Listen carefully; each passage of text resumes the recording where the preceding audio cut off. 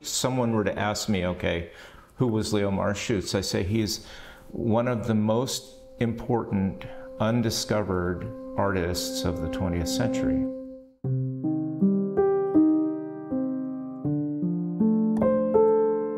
I mean, it's this extraordinary story of, you know, someone of incredible depth and accomplishment who's gone completely ignored.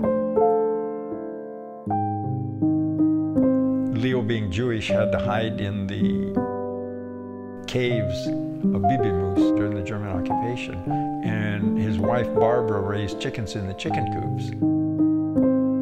C'est fabuleux. Pensez que cet homme, reconnu comme éleveur de poules, il se fait livrer du papier de boucher et dessus, il dessine l'évangile de Saint-Luc.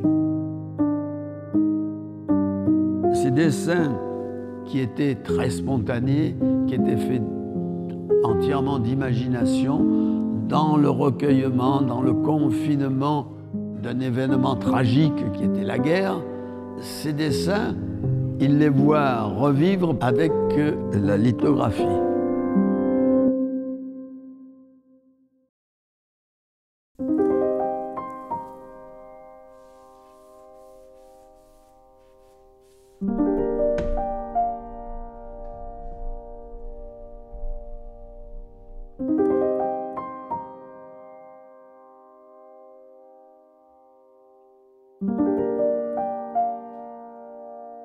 La lithographie a été le chemin qu'a emprunté Marschutz pour trouver une écriture en face de la nature qui était la sienne.